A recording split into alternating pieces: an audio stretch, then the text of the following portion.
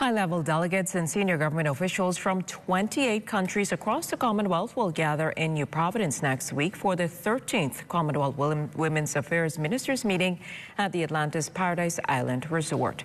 The Bahamas to take center stage at the discussions, and stakeholders will address critical issues affecting women in the Commonwealth. Desmond Sanders joins us live with more. Good evening, Desmond.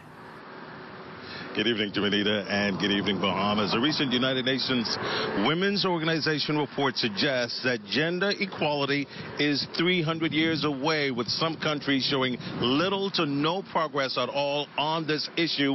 According to Minister of Social Services and Urban Development, the Honorable Obie Wilchcombe, this issue will no doubt drive next week's Commonwealth Women's Affairs Ministers meeting at the Atlantis Paradise Island Resort. According to the International Labor Organization, the COVID 19 pandemic set back decades of progress toward gender equality. On average, the report says women are currently paid 20% less than men are globally.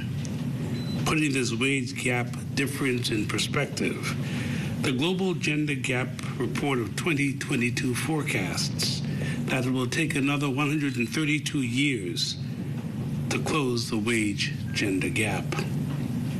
The gender wage gap critically impacts the quality of life for families and ultimately the socio-economic fabric of our nations.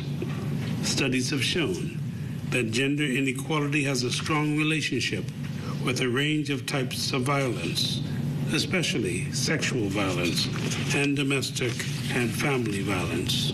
Gender and climate change, ending violence against women and girls, disability inclusion, gender equality, and disability inclusion will also be addressed. Minister of Education and Technical and Vocational Training, the Honorable Glenys Hanna Martin, Dame Anita Allen, former Tourism Director General Joy Jibrilu, and Bahamas Technical and Vocational Institute President Dr. Linda Davis among distinguished panelists who will tackle issues relating to tourism, women in political leadership, and women in non traditional fields. So, strong advocate for women's rights, wife of the Prime Minister, Anne Marie Davis, will host a special session at this distinguished conference.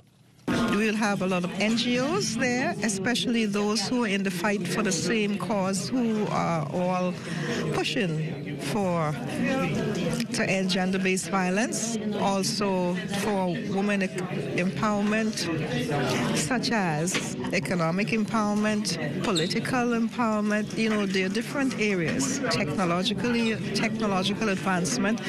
Um, so we we're going to discuss quite a lot, um, and we have a wonderful panel of experts. Definitely mental health, which is a big item that we have here facing us.